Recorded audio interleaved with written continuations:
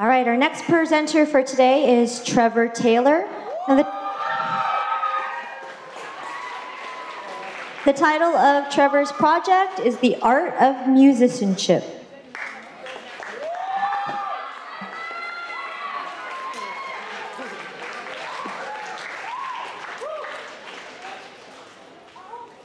So when we think about our world, we often just always hear music. We could be anywhere. We could be at a grocery store and there's music blasting to accompany our shopping. It's between skating parks. Everywhere has music in a way. But I feel a lot of times we don't take that second to think about why the music was created or how it was created. And that's what I wanted to do. I wanted to introduce the idea of thinking like a musician, thinking how music's created, and introduce that to the school. My project focus was to teach students the skills of musicianship and really have them begin to see music. I also wanted to improve the atmosphere to the school because I feel when there's mu more music being played, there's more people expressing themselves. And it might get a little bit crazier, a little bit louder, but I feel that seeing people really express themselves and seeing the joy music brings is all worth that noise. I wanted to increase the knowledge of the arts. Oftentimes in the school, we don't have the option to have that many art classes or high art stuff as that. So this was able to introduce that. And last thing was I kind of wanted to get rid of the hostility that the school had in some ways. Last year, Tyler wanted to play guitar, so he'd bring his guitar to school and he'd start playing. But oftentimes what would happen is within, he would play either a bit too loud or a style that no one liked, and within 15 minutes of every lunch period, someone would come up and they would complain and he'd be either sent outside or he wouldn't be able to play at all. I feel that that not being able to share music with your friends in an easy way such as school was something that I had to get rid of. So I like to talk about the meaning of musicianship because when I say the word musicianship, people kind of look at me and they're like, is that a word? Like Ms. Kino said that, which is the class at UNLV, so it is a word. But I like to say this quote, musicianship is about training the student not just to be a player of an instrument, but to be a musician. The best way to do that is to take the instrument away, my students learn to be musical without an instrument. The instrument is basically a machine. It only makes music if the player knows how to make music. I took that with the whole project. I didn't just want to teach people instruments or ideas. I want to teach them the ideas of music and how it's composed and the little things of how music works. And the best way I felt to do this was to make a club. It would be a club where students could come and they could learn and progress with each other and it'd be friendly and it would be inviting. And you could kind of get rid of those barriers that music has a lot of times. Because when you pick up an instrument, you don't always have someone to play with, and you don't have someone to listen to, and you don't have a lot of the advice that you really need. And that causes music to seem very terrifying, and I wanted to get rid of that. Another thing I really wanted to focus on was influencing a few. I could stand, I could have stood up here at two big events and just talked to you guys about why music is important, but I feel that would be in no way as important, in no way as impactful as if one of your friends learned how to play an instrument in the music club and then they shared that music with you. The hearing a friend play is more important than any words I could say up here are, could be. And last thing was that was personalized. I didn't want this to be a textbook approach. Here are six books, learn them. It was, I looked at every student, looked at what they were strong with, and taught them based on what their strengths and weaknesses were to try to make them feel as most comfortable with music as they could. This is my favorite photo of the year. What happened was this was a Tuesday. Nothing special about it, and I said, I, I, want, I need to take a photo. I took a few steps back, pointed a camera in this direction, and took a photo. If you look at this, we see Jeffrey and Nigel, who didn't know each other at the beginning of the year, but now are talking quite a bit after school. We see Wayne, who had never been really part of this whole group, talking with everyone. We see Nelson, Tyler, and Christian for, out, for an hour before they both get picked out. It's not that the club is just a club where you go and then you're done with music. It was a club where the, the meetings were just when everyone was together. And really, there were small kind of, you, everyone was around you, and music was always around you with it, and you were with your friends in all these situations. I like to say that management was one of the most important things with this project. So one of the big things was setting up the project. And I was really lucky because Ollie was setting up a songwriting club at the same time. So essentially what happened was that we, our clubs were similar enough that we just kind of did the same steps together. And it kind of like allowed us to accelerate the pace and go really fast. So We were able to both go around lunchroom, get interest for both our clubs, talk to different meetings, plan out the time so they didn't conflict. And I really feel grateful that I was able to do that with someone and do all the scary stuff in a way, but still by myself in a way, but still with someone. Another big thing about the club was to check up on members constantly. It would be stupid to just go and say, here's an instrument, and then check up a month later, and then see that, and then get mad because they didn't make progress I wanted. No. I checked with every member at least once a week, and sometimes twice a week, or three times a week, or four times a week, signs every school day, just to make sure that they had all their questions answered, and that they were progressing in the way they wanted to, and that they were able to make the music that they wanted to play. And if I was going to be around them that much, I didn't want it to be where I was just there and just bugging them and pestering them as a teacher. I wanted to become their friend. I would often talk to all the members friendly and get to learn them, learn what they like, have friendly conversations. So it wasn't just, here's music, I'm only here for music. I wanted to make it friendly with everyone. And their big thing was reminding, and this was very big, as I feel that every single member of the club at one point woke up in the middle of the night and said, our performance is on May the 4th.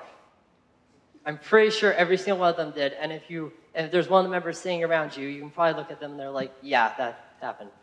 Another thing was just making sure that everyone was prepared. So one big thing was I had Nigel and Jeffrey come to me every single day during lunch to practice Seven Nation Army to make sure they were prepared and they were going to be confident when they got up on the stage.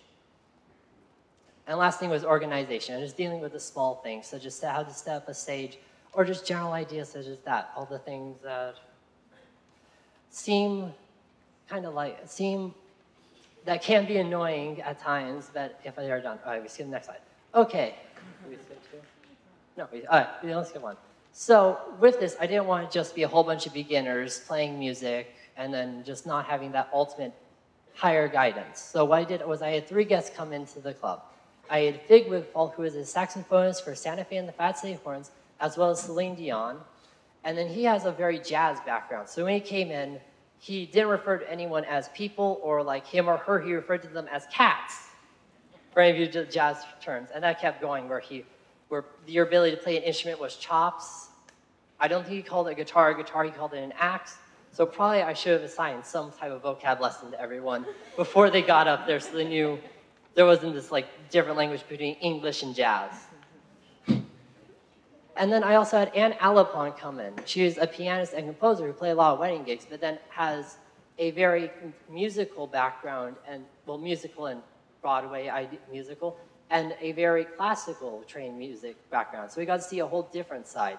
So the members could see one side that was jazz and one side was that classical and kind of contrast and compare and really listen to which one affected them more. And the last one was Jeffrey Trower. Jeffrey Trower works with community productions and leads drum circles around the valley and works a lot with percussive therapy and then does a lot of that stuff. And that was a whole different side from the other two, seeing a direct application of music in that way. And one of the events, and one of the things he did was that he had us do a drum circle as our first thing. So we all got in a circle and we had a whole bunch of instruments and we all kind of improved our own thing and kept it going, kept the rhythm going.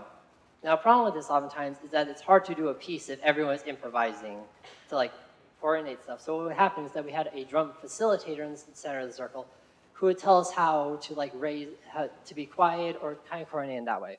So I have a video of that. It played, it actually worked.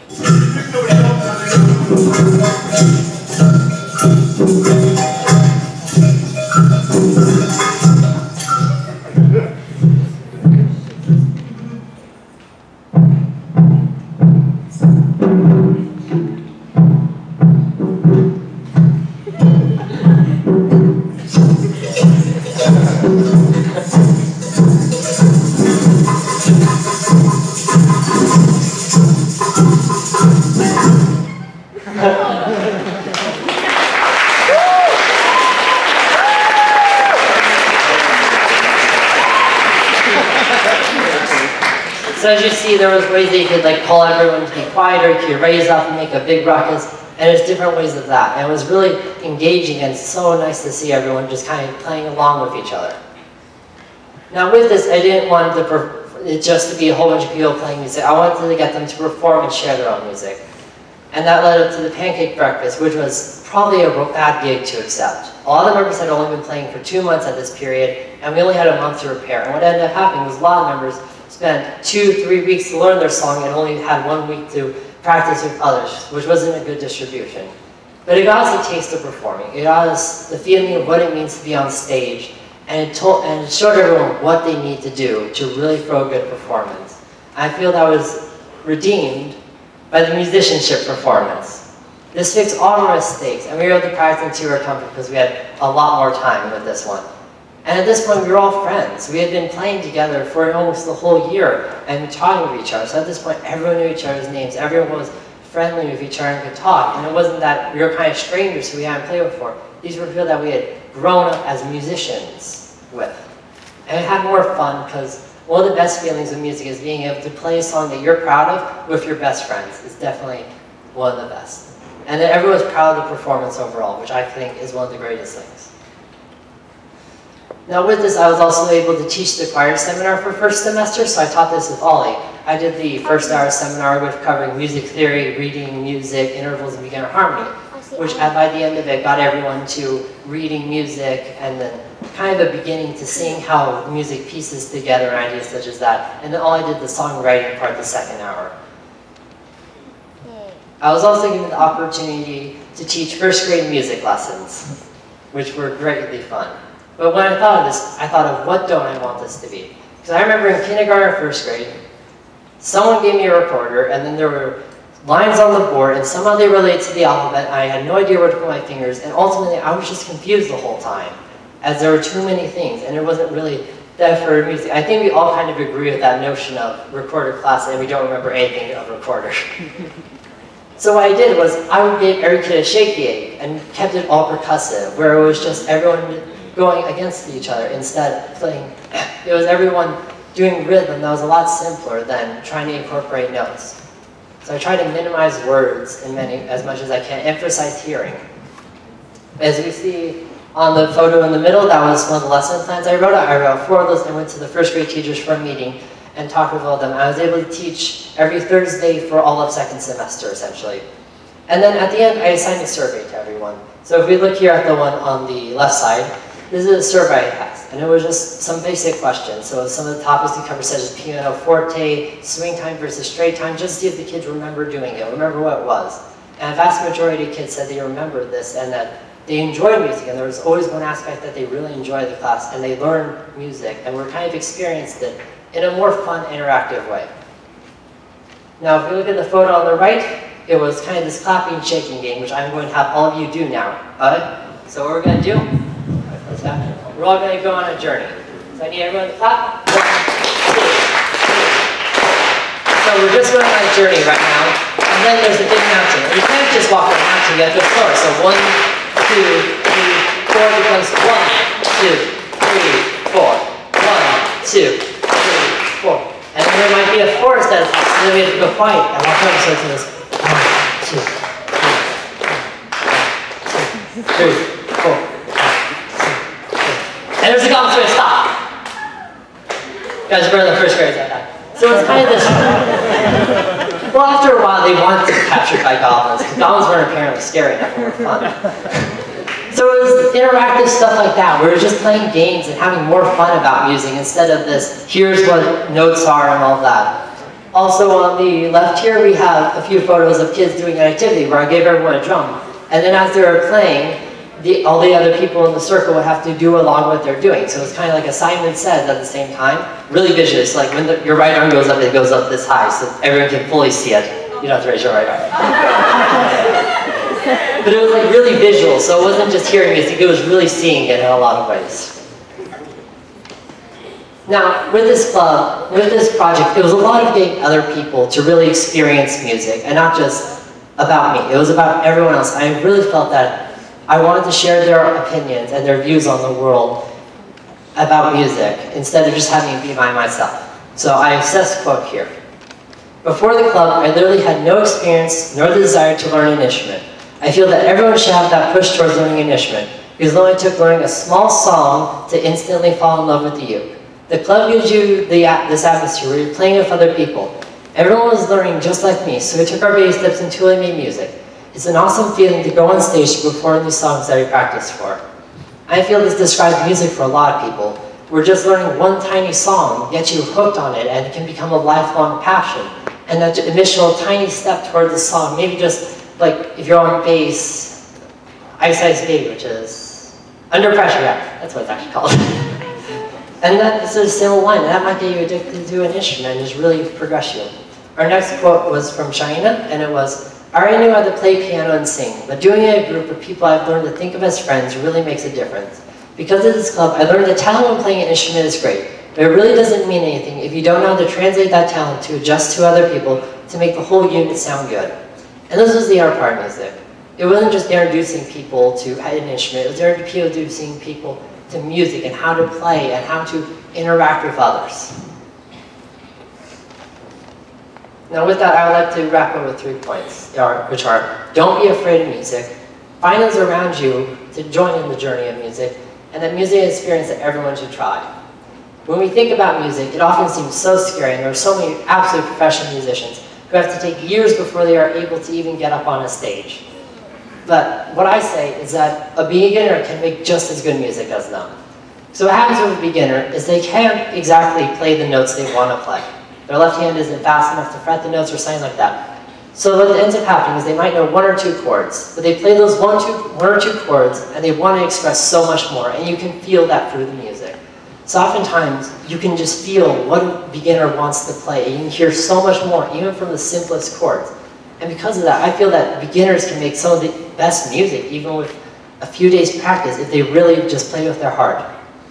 And with playing with your heart, Find those that you can share music with. Don't just let music be by yourself. Try to share it with people and get their input on it. It might be that you pick a person and you talk with them and you play an instrument with them. Or there might be someone where you just go, every time I learn a song, I want to show it to you.